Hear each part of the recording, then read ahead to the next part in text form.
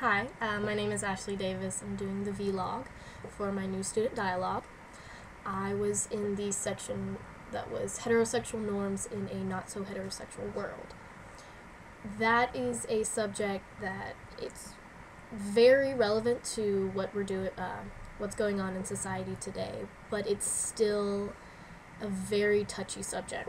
It was actually, I was kind of surprised that uh, Clemson had had that as one of their subjects. Um, I think that's that's great because so I feel like it's swept under the rug so many times.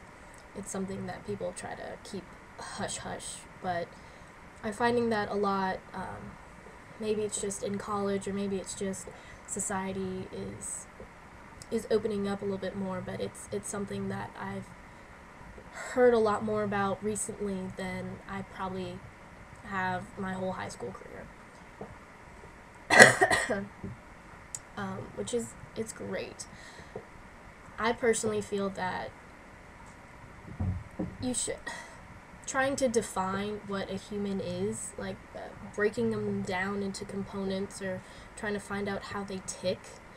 Uh, honestly, I just don't think it makes sense. People are who they are. They don't have to have a reason.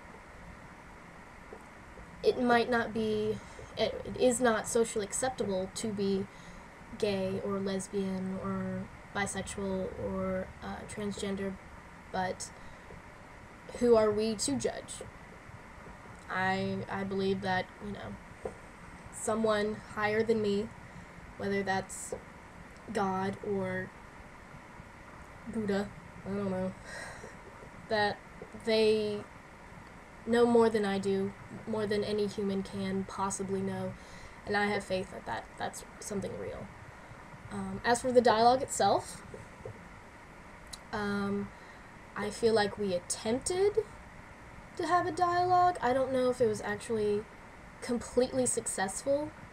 Um, it felt like out of, I want to say, the 12, 15 people that were there, maybe four, four or five constantly spoke up, which was, it was kind of annoying, honestly, that uh, a couple people were like silent basically the entire time. Towards the end, it got a little bit better.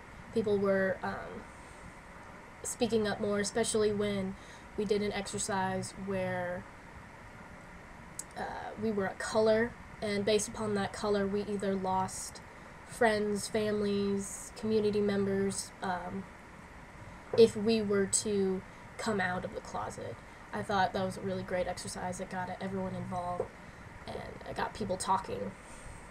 Uh, before that, though, it was it was very like a question would be thrown out and it was kind of silent.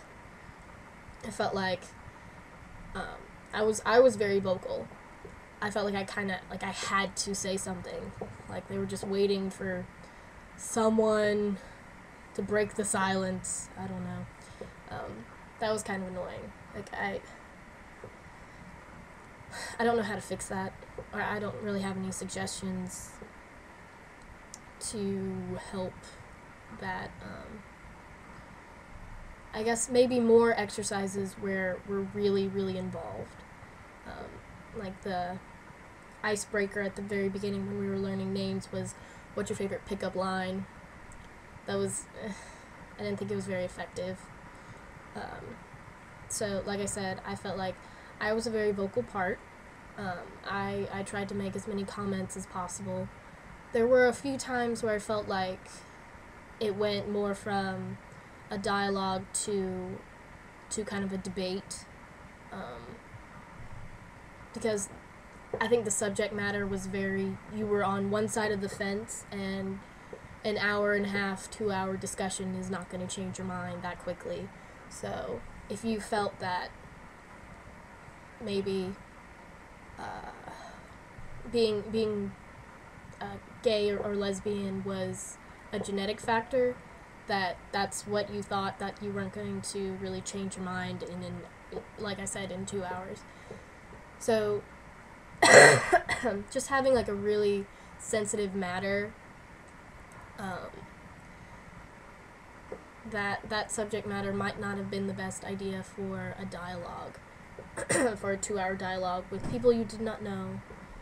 And uh, just getting people out of their shell to talk about something like this and then um, getting them to talk about it in a way where it was it was just seeing other people's ideas and not really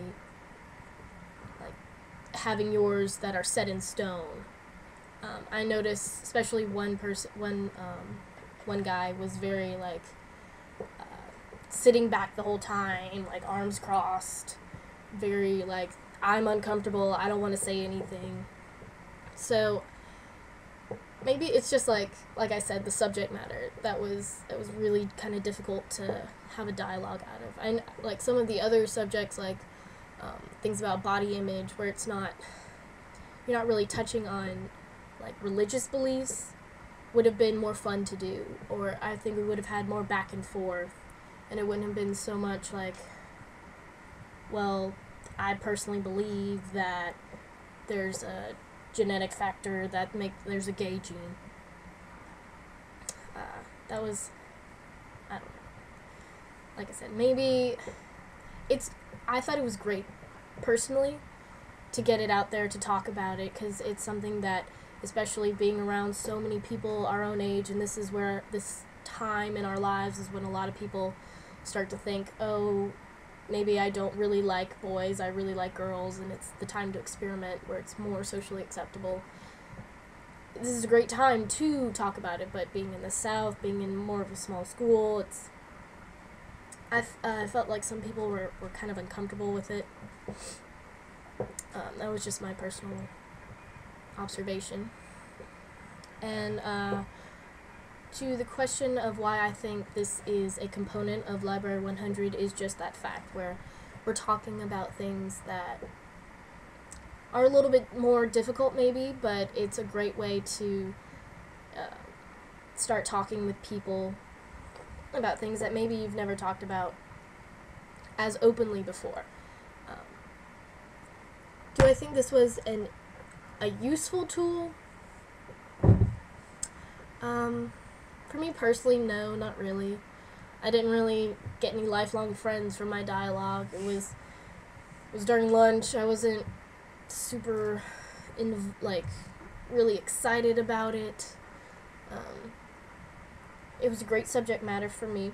I thought so. Um, I thought it was really interesting to hear some people's opinions, even if they were a little hesitant about them.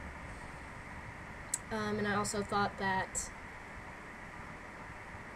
uh, the close, small group was the best way to do that. Um, any larger, it would have people would have just been silent the whole time. So I think it was a good tool in that respect. However, I personally didn't think it was as worth my time as maybe uh, it was supposed to be. So those are my thoughts on uh, the heterosexual norms in a not so heterosexual world.